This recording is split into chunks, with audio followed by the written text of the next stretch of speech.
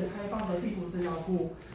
作为地图资料库呢，最大的卖点是，它每一个东西、每一条路、每一个商家，然后甚至每一个东西都可以自己来编辑，都可以来自由的编辑，而且每个人都可以自由的取用它。你只要有心、有时间、有一个够够够贵的伺服器，你就可以用 OpenStreetMap 的资料，自己自己搭建一个地图系统。你也可以自己在上面做编辑。所以说。它是一个很 promising 的东西，就是完全开放的一个地图系统。然后呢，我们可以看一下台湾的东西。这次的话呢，我们的贡献的主题在于台湾的河流上面，所以我们可以先往台湾的一些，我们可以先往台北市来看。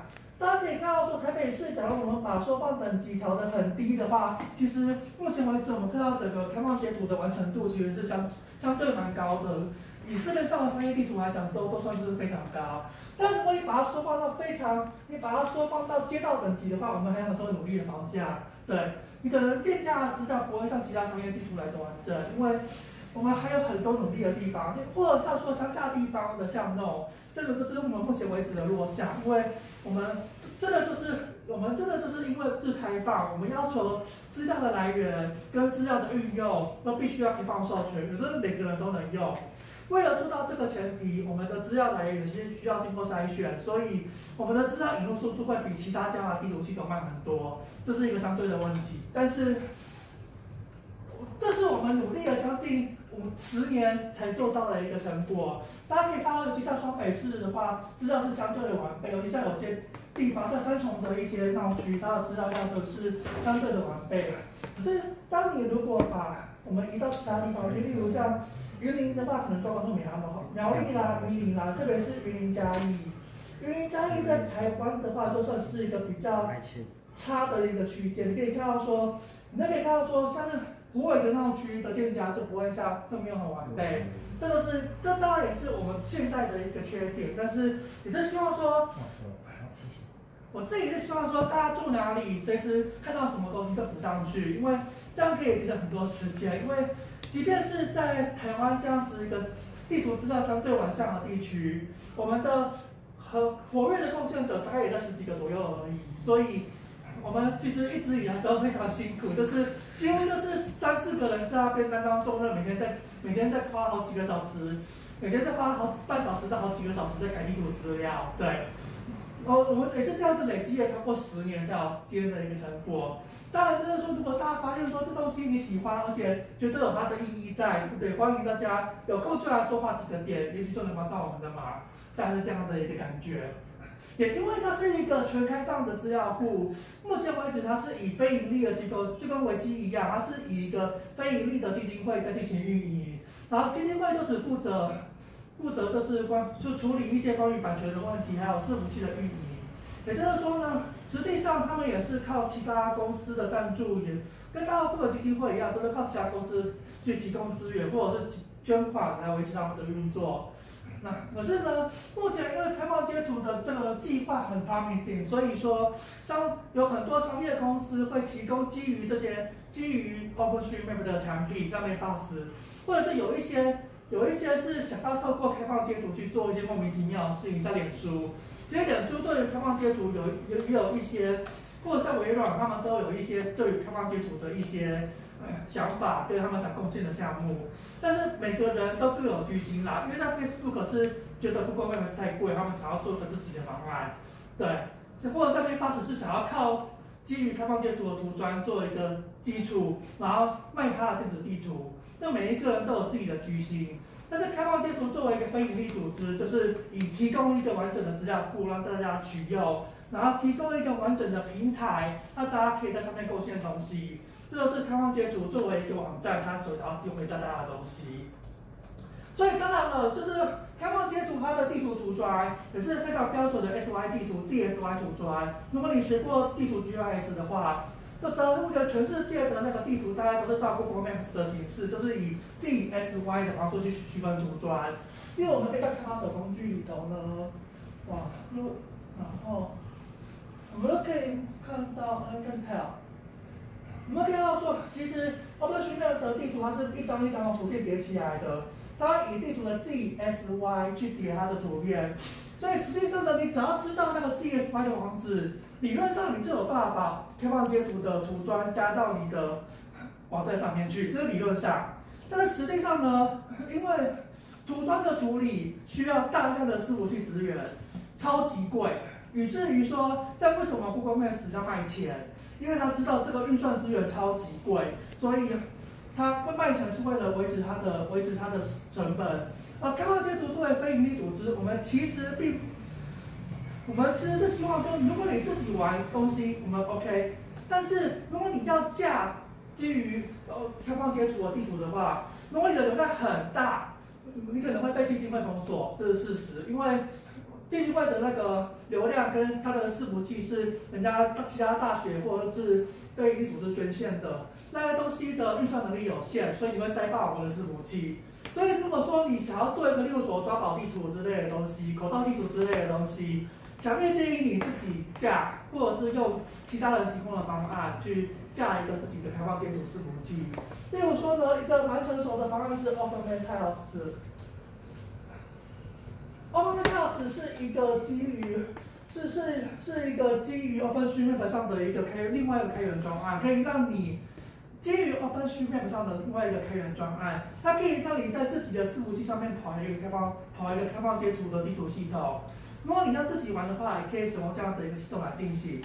好，那以上就是我们对于整个 OpenStreetMap 它的他想做的事情，完全开放的地图资料库。他正在做的事情就是做一个非营利组织去维持它的营运。其他企业对于这个东西的想法是什么？那你可以用怎样的方式来构建 OpenStreetMap？大概是这样子的一个概念。哦，最后再来说，就是如果你有行车记录器或者有 GoPro 的话，你还有一种方式可以来帮助我们，就是透过 Facebook 刚收购的一个刚收购的一个地图公司叫 Mapillary。Mapillary 它是一个地图街景资料，它是一个自由的地图街景资料库。它想要靠的事情是靠靠靠大家自主提供街景，然后呢，他们提供平台，你用那个平把那个平台卖给其他人赚钱，这是 Mapillary 的用意。可是 Mapillary 给了我们另外一个承诺，就是他们会有他们会长期开放，大家可以用那个街景画在 open 晒面上面。所以说，如果你说你有 GoPro 或者是有行车记录器的话，你可以去研究看看怎么样在 Mapillary 上去贡献你的行车记录。因为像我自己也贡献了非常多行车记录在上面，例如说台中市，台中市的话，你可以看到说相对的是非常完整。然后台北的话，也有也有其他人有有有有其他，好像有一个成员他有拿到预算，然后有在台北市积极的跑捷径。台中市有很多志志愿者在跑，像这个像呢云林、台南、高手，这这又是我们的痛区了，云林、嘉义、台南、高手。一直都是整个 OpenStream 的专案里头比较弱势的部分。大家有兴趣的话，可以拿 GoPro 去拍一拍。他们官方是建议用 GoPro 拍，所以说，如果你手上有一台 GoPro 的话，欢迎欢迎大家到嘉义、台南、云林走一走，然后呢，录一录街景传上去，搞不好就能找到我们，这也是一种方式。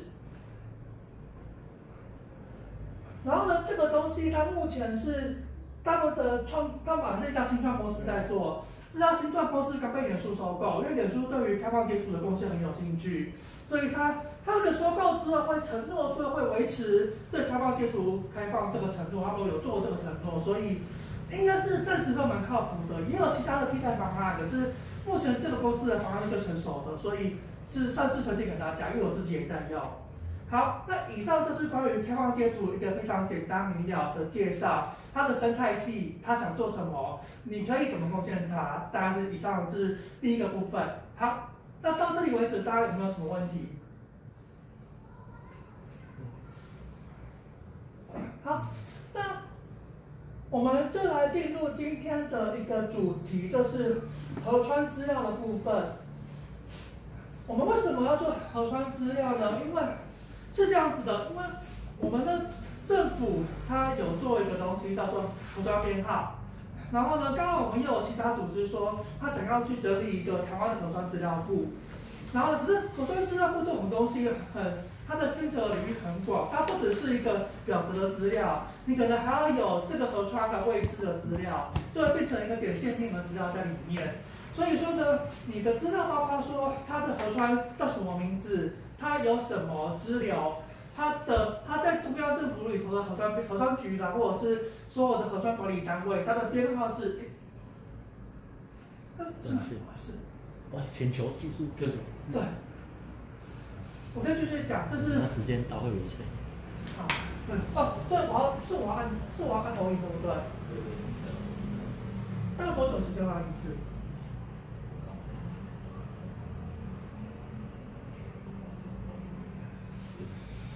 那我按到，那我按到了。陈总按到。好。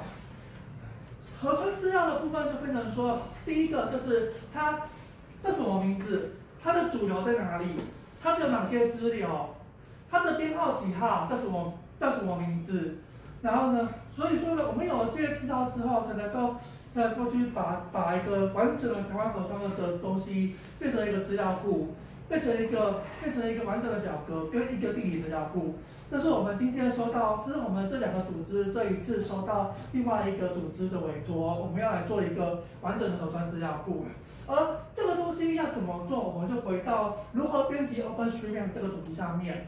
当你可以注意到说，呃，开放地图的编辑其实现在跟以前比起来非常简单。你只要先选好你要编辑的位置，你在左上角就会看到一个编辑按钮。当你点下编辑的时候，它就会。啊，当然你要先注册，然后就在上面注册会员，非常简单，账号、密码、email，跟其他任何网站都一样。然后呢，当你进到里面之后呢，就会进入它的一个编辑器叫 ID。呃，开放贴图有非常多种编辑器，可是呢，ID 是可以是最容易上手的，因为可以直接在浏览器里面使用。你只要有浏览器就能使用它，它是基于 HTML5 的技术，所以你只要有浏览器就可以就可以编辑了。然后呢，当你选择它有教学模式，如果你第一次玩的话，你可以先玩大教学模式，因为做了这话，呃，你如果完全没用过地图编辑系统的话，它会需要花多一点时间入门。可是你基本上来讲，你可它的 ID 的教学我记得都有做到翻译，所以照理说整个过程应该蛮愉快的。如果没有的话，看一下英文。然后你可以选现在的编辑，我们当然选现在的编辑。好，然后呢，你会发现一件事情，其实。这整个开放地图的资料库，它的内容非常细腻啊。你可以看到说，不止以以以整个河来讲，它不只是河本身而已，它包括这个河它的一些支流，例如说它的有好几个镇都会流到水文上面，我们就把它画上去。然后呢，会有行政区的交界，例如说你会看到说，这个西北是不同里的，这个西北是不同里的交界。然后你看，说这是淡水区，中间中间那一条蓝色的线，蓝色的虚线，这是淡水区跟巴黎区的交界。然后呢，有有一些东西像是，对，也画一些东西像是那个客轮的航线，例如像渔人码头到淡水的的渡轮，左岸到渔人码头的渡轮。其实很多东西都，其实 OpenStreetMap 它只要是你地图你地上看得到的东西，到底说都可以画，就是这是这是我们社群的一个原则。你只要看得到的东西就能画，而且呢，我们做开放接触的贡献来讲，其实蛮强调 feel survey 这个概念，就是实地实际勘察。嗯，基本上呢，我们比较鼓励大家，你开放接触的贡献不要用抄的，不要用比的。呃，虽然我之前在私底下干这种事，可是，对，可是基本上来讲，请大家有个概念，就是你想画什么，建议你走过去一趟。看到什么拍下来，自己或者是用像用 Mapro 录入接近，录下来再回放回去，然后呢，你就你再去编辑，这是一个这这是一个基本的概念。可是呢，有时候呢，当然没有很多事情，你其实完全没以前我们还没有那么多来源的时候，你可能要 GPS 画马路，那很痛苦。所以后来呢，OpenStreetMap 有很多热心的卫星图资厂商，他们也看中了这个商机，开始免费提供提供给我们一些卫构造图。所以说呢，你可以看到说，我们你在编辑的时候会有空照图，这东西不是，这东西其实不是免费的，这东西算是那个其他卫星图资厂商他们提供给开发贴图公司的机会，专门用于绘制地图用。所以这个东西，请大家还是注意一下。虽然你有绘制地图，可是它的目的仅仅用于绘制地图，这是一个授权需要注意的地方。然后呢，你可以看到第一个我们要跟大家讲的事情是，除了大家地图资料之外，你在台湾来讲，你要先点读者，编辑设定。呃，因为台湾预测是 B，可是很不幸的呢，B 在台湾的状况目前并不是最优秀的空照图，所以通常十之八九的状况，我们会建议你使用 Mesa 的 Mesa 的 Premium imager。Mesa 是 Digital Globe 这家卫星投资公司他们的他们的地图服务。Digital Globe 是台是世界最大的卫星投资公司之一，他们在天空上打，他们在地球上打了好几个卫星，每天每天拍地图卖钱。然后在 Google 啊、微巴斯啊都找到我们在买图资，然后他们也有提供免费的图专给我们使用。目前是台湾你能用到的最好的地图之一。然后呢？所以说呢，我们就先从卫星图，我们就先拿出来的卫星图来看，就是你基本上呢，Mesa 的图资基本上全台湾的覆盖率是相对高，所以你基本上想画哪里都可以，就是就当然哦，它是卫星图会遇到一些问题，天气不好会有乌云，有些地方还是会被遮到，你可能就要换一个图资画。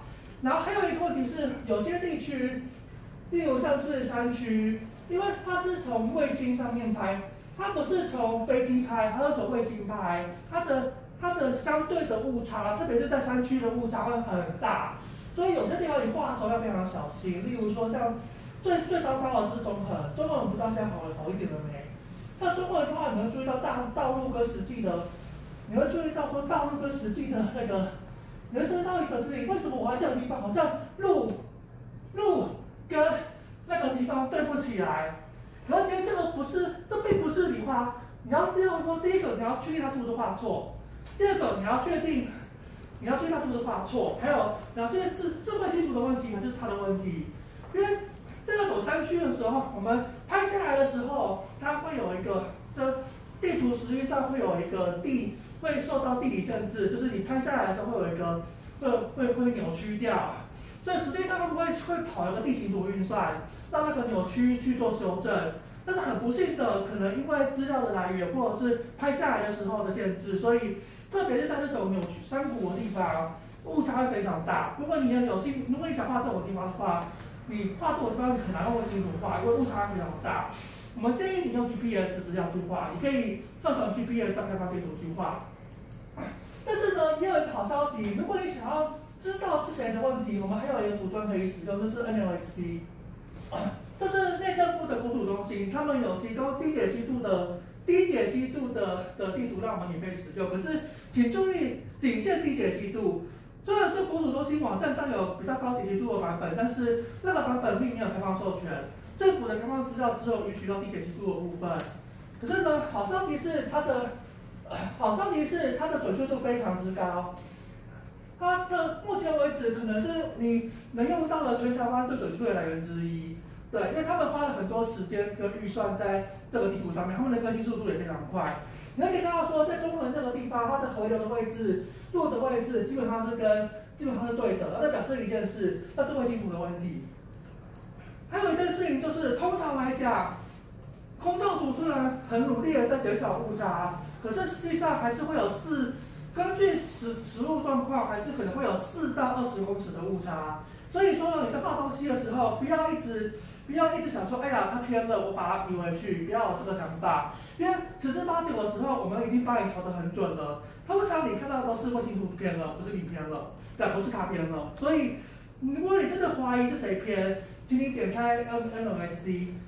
NLS，我目前为止，我自己的话就是都以国土中心，就是 NLSC 国土中心的图资作为一个到底是谁偏的一个依据。然后呢，如果你很厉害的话，你那个，如果你想把它移到正确的位置上，那个我们那个 ID 有一个工具叫空照图偏移量，你可以自己去调整空照图的偏移。例如说，你确定了，你第一个你打开国土中心，你确定路没有偏。你就可以把它，你就可以回到 Mesa 图纸上面去，然后把它移过去。照理说是这样子啊，然后把它可以把它做移动。对，照理说是这样子。可是山区就是别没办法，因为山区的图纸是扭曲的。这个图案是是说像平地，那有些地方平地是你会有偏个几四五公尺，那种状况下你可以通过那个 ID 里头的图片移量工具去把它稍微移动一下，把它画起来比较正常一点。可是呢，很不幸的事情就是，你如果是上山区，这个知道辛苦一点，建议你带一台手机做 GPS 录下来，再把它存上去，这样会比较安全。好，那我们接下来就这是第一个大概编辑开放地图的一些必的一些注意事项，组织的部分。再来就回到资料部分，当你在 ID 上面选选择了任何一个物件，它都会出现很多东西，它是它的图柜类型，它的栏位，啊，图柜类型、栏位，我们刚刚说它可以做的事情很多，然后，然后这它这这种可以放一些关联，然后呢，其实，在资料库里头，它是用标签的方式来储存的。我们可以点开来看标签，对，这个标签就是我们开，就是我们开放截图里头，实际上把资料它都会储存一个 key value 的结构，就是每个东西、每个点、每个线、每个面都可以变成说一个键跟一个值的一个组合。例如说，它的名字叫九曲洞隧道，它的英文名字叫这个，中文名字叫这个，然后它是。它是什么 highway primary？就是以台湾来讲，primary 就是省道。这整个整个台湾的道路编制来讲，它有分省县、省道、县市道、乡区道，但是它还有没有等级，在这三个等级。然后呢，它的它的编号是八号，你会发现我们连编号都会写。你台湾地图上看看到它才八线，所以在地图上面就看到它是一个橘色的八号八号省道。这很明显，因为这些东西全部都在它资料库里面。我们还会建议说，假如它它是不是脚踏车道，然后脚踏车是不是双向都有，这一边有而已。我们可以做到这种程度的编制。为什么要这样做呢？因为其实 OpenStreetMap 它你的地图，它是个资料库，所以你看到它纸上的预设渲染，我们可以另外用这个资料库做其他的渲染，例如像这次自行车地图，你看。我们可以看到说，紫色的部分就是有人说这个都是自行车道啊，它长怎样？你骑自行车的时候就可以用它的自行车地图来看一下说，而且像台湾之前有花钱、有花预算去做编制，说全全省的、全台湾的一个环岛一号线跟它的环岛系统，虽然那东西开放程度没有很高，可是我们花了很多心思在修正它。如果你发现错了，也欢迎跟我们，也欢迎跟我们反映。对。当然了，你可以骑骑脚踏车的时候，这个东西就很有参考价值。当然了，相对之下，很多东西像是机车导航很难做，我们也很努力，可是，呃，说实话，我们也做的不够好。如果你对于这些东西有兴趣，欢迎你去学习这些例资料。好，那么呢，我们就来进入今天的重头戏，就是河川。以这条路来讲，我们会看到一个河川叫利物溪。哎，利物溪还可以，利物溪大家有见对。然后呢？头不是换到头前期的哦，蛮多资料的。哦，你说头前期吗？好，头前期是新竹吗？好，没问题，对不起。这个县市的电好。哦，我怎么说怪怪的？哦，你可以直接搜头前期。不是，我我我直接说，我是不是怪怪的？对，我我对，你这个不能骂的，等一下。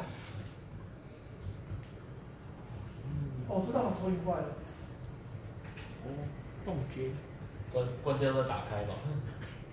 我觉得是 WiFi 的问题，等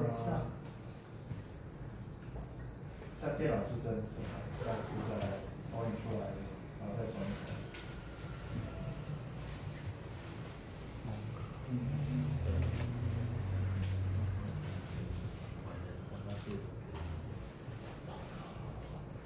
在这我我在电脑我根本系统没有很稳所以它才会有问题。好，我们来到了新竹跟竹北的交界，有一条溪叫头前溪。如果你搭高铁，如果你搭高铁从台东到新竹的话，它是进新竹站之前你会遇到最后一条大河流。头前溪是这样，然后呢，当你哎，我们再解释一件事情，就是整个 O 上的资料大致上分成。所有的地图当中都是三种东西所构成：点、线或区域。你要画点、线或区域，非常，它其实非常直觉，它是跟其他的绘图软体一样，你只要，我这里是示范而已，大家不要真的玩。你按下线之后，它就你可以画一条线，嘟嘟，放开，然后点两下放开，它就会完成，你就画，就画了一条东西在上面了。接下来你要选择它的标签，就是以 O I D 来讲，就是你要先选择它是什么种类的东西。例如说它是水路，水路的话呢，呃，大致上来讲，我们这几个东西，我们大概是好，我们跟大家解释一下这一次，我们基本上我知道简单一点，就分成四种。第一个，人不能跨越的，我们不要河流；人不能跨越的自然河川，我们不要河流。人可以跨越的自然河川，我们不要溪流。也就是说呢，假如你玩跑酷也跳得过的，我们叫溪流；你玩跑酷也不可能跳过的，我们不要河流。对，然后一样的道理就是，如果你玩跑酷不能跳过的，不能跳过的那个人造人造沟渠，例如灌溉渠、大圳，然后什么排水排水系排排水系统，我们一律标运河。人可以跳过的，我们标渠。大概是，哎，我当时沟渠还是渠？我看到里面是是什么这个？沟渠是地渠，OK，没问题。那渠就是，那那请大家标卷，卷就是卷就是卷就是渠，对，大家就是分成四种。然后你要给它的时候，只要点一下它的类型，按一下，就可以重编了。嗯，我们再来跟大家 repeat 一次。能跳得过的标溪流，能跳不过的标河流。这个是对于天然天然河川，对于非天然河川，例如江南大圳，例如例如几什么什么什么什么排水，对，大城排水之类的名之类的。你刚刚讲它名字是什么排水？那请标运河或者渠。当然有一些很靠背的地方，例如什么排水溪，那个光光资料会有什么排水溪、排水河，那。可能大家斟酌一下，都随便选。对，其实没差，可是我们建议大家标对比较好一点。对，好，因为重点是说它会影响到说，因为例如说它是，假如说是那个干季是没有水的，那会有干季没有水的情况下，会有另外一个 tag 叫做周期性的。对，它的名字翻的不好。对，周期周期性的意思就是说，它经常是干的，台风天会充满水，这不叫周期性。在实际上去哪的时候，它会变成虚线。对，然后呢，它有一个状况是，它是一个渠，然后它穿过一条马路。其实实际上你要把它切开来，然后再标它是，标它是隧道。对，这也是一个。例如说，可能有一个公开渠道，它通过某个水化区变成地下了，其实可以这样标。对，你其实可以这样标，可是很难画，因为空照图没办法画到隧道的部分。其实。这个也是跟大家讲，以后如果你有兴趣，可以这样画。对，好，那回到沟渠上面，我们回到河流。所以第一个，我们可以知道，它不可能刚好去住我们高河流。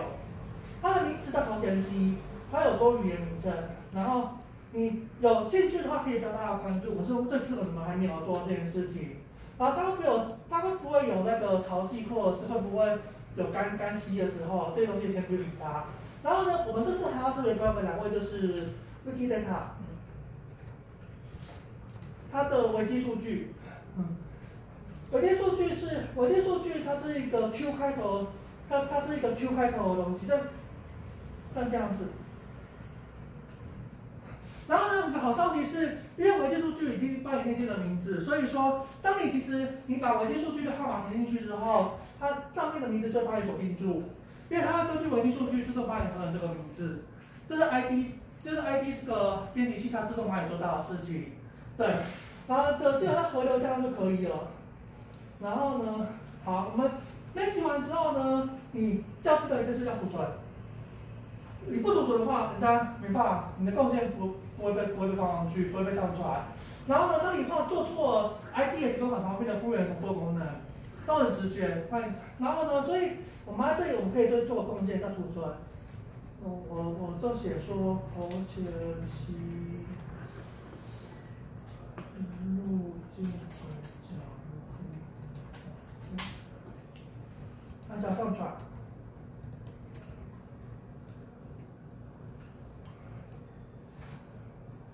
好，这样子我们就成功的做出了我们第一笔对开放贴图的贡献，就是这么简单的事情。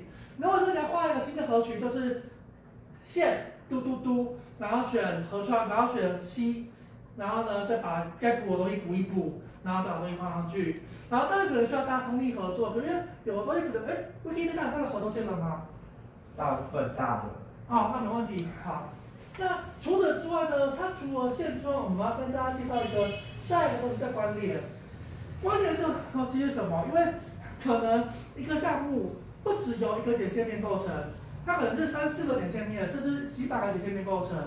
这种情况，或者是说关联，或者说一个东西它可能又是树状的，它树状的一个东西有一个东西的分支，它还有在它下面还要再分支一个系统出来，所以我们会有一个东西叫做关联来去管理这个，来去管来去管理它这种类型的一个物件。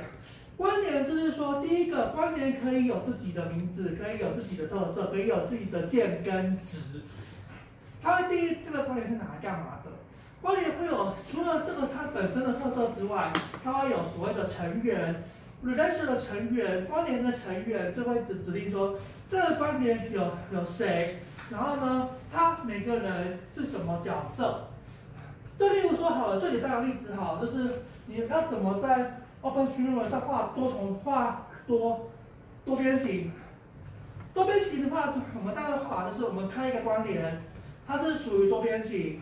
然后多边形里头呢，多边形它们是多边形，然后这个多边形可能是个建筑物，然后这个建筑物它会有哪几个面作为它的外框，哪几个面我要把它除外，这个大概就是关联的一个实际的用途。而我们这一次使用关联用途在于定义整个核穿系统，所以说呢，你可以看到这边，当你往这这个特征往下卷的时候，你会看到的都是要关联。它你会注意到说，它是这个的意思是说。这个东西，这个这条线，我们现在选的这条线，它是水路头，它是一个水路关联，名字叫头前溪的一个成员。然后呢，这个成员在头前溪关联里头的角色是主流 mainstream。所以说呢，当你看到这东西，然后呢，如果你发现一件事情，你建了一条河，它没有关联，关系，你就按加，然后呢，然后呢，你去选一个关系。万一真的没有，就选建立性关系，大概这样的概念。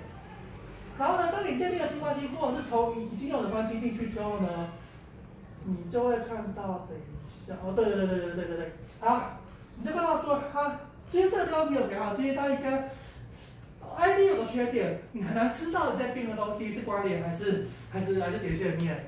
你可以抽一个这样分，就是这下面。他如果写成员的话，就是然后到你这边几个东西关联。如果你发现这里写是关联，表示你在变的东西是点线面，再画样分。对，很不幸的，IDS 我可能是翻译的问题，也可能是系统的问题。对。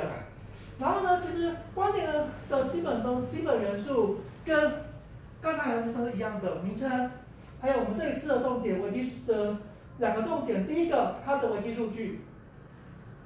维基数据，你它会有一个自动完成的系统，你可以说只要有建档的东西，有名字的东西，你找到受品它的名字，它就会帮你找出维基数据的号码。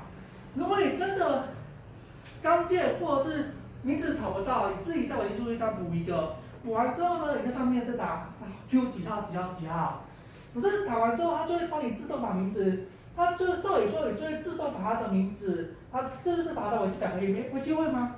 嗯，维基百科。对。就是说，他只把他的名字跟我几百个页面给补上去，所以照理说，你只要加上我寄数据的号码就没问题了。然后这次我们重点在于说，请大家补参考编号。对，这个参考编号呢，为什么请大家使用我们政府资料里头的政府资料里头有一个河川编号，有一个河川编号表，请大家以那张 PDF 上的表格做依归。然后呢，很不幸的，那张表格上面的河川定义有一些名字很诡异。有一些名字很诡异，定义很诡异。如果你遇到这种状况的话，欢迎跟我们讨论一下，我们会帮跟你解释说这个河川应该要放在哪里才对。然后呢，请大家编辑构线的时候，去看那张表上的 C，找它在哪里。然后呢，它没画起来的话，把它画起来。它有画起来的话，确定它的有建关联。它的关联里头要有编号跟维基数据。大概是我们这这是我们这一次的他要做的事情。对，所以说呢，然后呢，当你建好了关联之后，再来就是成员。成员部分分了几个重点，第一，我们大致上分了两件事情。第一个是说它的它的成员和第一个它的成员是说它有它的地方是，它除了成员有它的点线面的本来点线面之外，还有个叫角色，角色就在这边，你可以选择这个东西在你可以选择这个东西在在在这个管理里头扮演什么样的角色。我们今天会用到的角色有两种，一个叫做 mainstream，一个叫一个就是它的支流，支流这个我不知道怎么念，对，这个叫支流。但请注意一件事情，你 mainstream 是对点线面追加的，但是很不幸的呢，支流请你加关系，请你加别的关联。也就是说，以这里来讲的话，你可以我我回去一下，我们回这边，然后呢，从这一点去关联，然后呢，这对关系未下载，下载看看，按这个下载，如果出如果发现出现未下载的话，就把可以把下载下来。三头三三头利息，我们可以再试着再试着去追。是啊。啊，大家知道怎么做了，好。那我再给大家解释一下，说我们要怎么追加这个支流的关联。这个说，你今天编了一个头前期的支流，它要三头利息。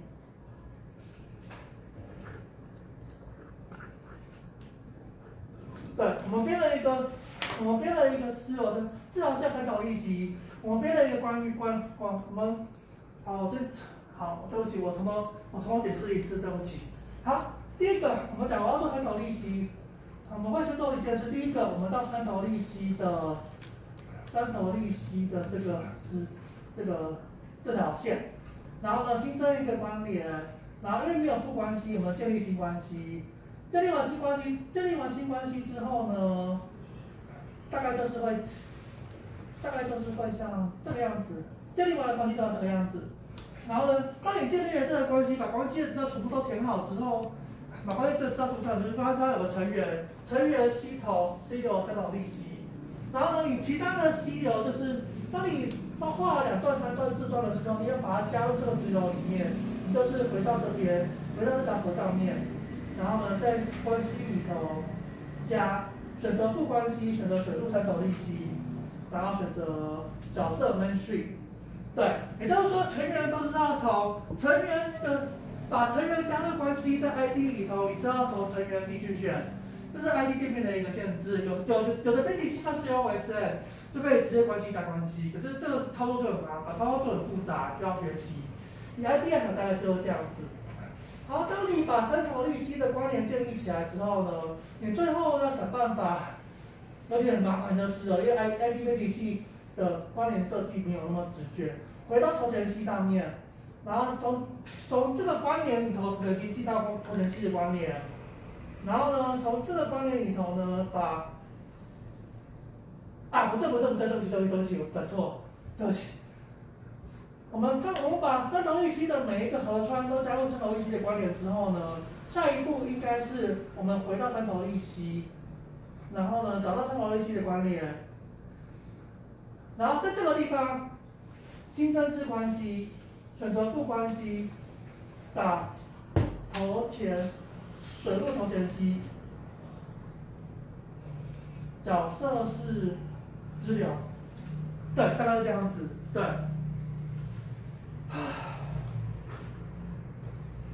看一下，这样子我起来了吗？就是这样。对，好。那这个大概就是这一次我们要做的事情，然后很不幸的，因为它很复杂，所以我预期大家一定会做错，可是没关系，就是嗯，欢欢迎再往来看，反正这个问题我们会修，我们我们这我们这这有几个很有经验的人，我会负责去指导大家，会负责帮大家修正。然后主力也不是 IT 编辑器，所以刚才有点拉差，这是比较需要抱歉的部分。然后呢，当你建好了之后呢，你可以怎么样去检查你的资料呢？比如说我今天你到一个哎，这几个 OS 网站上，可能查询图灰，你按查询图灰，然后点上去，他就会告诉你讲这部机有哪些东西。例如说这部机有在河淡水河，你可以点下去，他就会告诉你说，好，这这河道淡水河，它在 OS 上的编号是几号？它是第三十个版本，改过了三十次。最后一次改是谁改的？他做了什么补充说明？你刚才加的标签有哪些？你做已经做了一件事，它隶属于哪个关联？像我们跟其实就看到这边有我们淡水河的关联，我们点进去看淡水河的关联。对，这个淡水河的关联就会显示说淡水河的主流长江它哪些层？对，你就跟他说，整条大球已经建起来了，因为它都是从头到尾是一个很完整的一个流域。对，这东西就是就是想在对，它有三十二个成员，对，大家都这种感觉，对。治疗